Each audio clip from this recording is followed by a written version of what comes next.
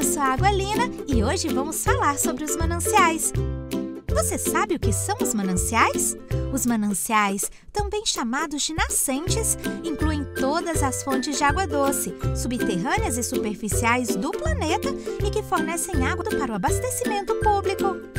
Ou seja, elas são essenciais para a vida humana. Por exemplo, água potável para beber, para cozinhar, tomar banho, irrigação, dentre outros. Água é vida e preservar nunca é demais. É isso aí, pessoal.